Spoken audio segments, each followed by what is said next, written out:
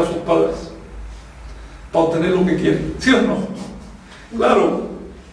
Y ya cuando tiene ocho años es un, es un dechado de maldades para acechar el mundo. Y eso sigue creciendo. Ya más hecho.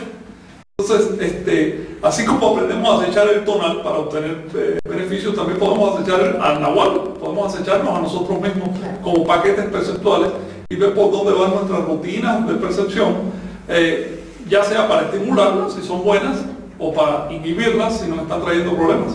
Pero recuerda siempre esto. El cazador se impone su presa por las rutinas. Es decir, lo que acecha, no sé, un ocelote en una gallina, son las rutinas de la gallina. ¿Ves? Dice, ah, mira, viene a tal hora a beber, siempre al mismo sitio. Y ahí donde la casa. Si esa gallina se da cuenta del asunto, no hay manera de que la casen. Entonces, ¿te parece si terminamos por ok.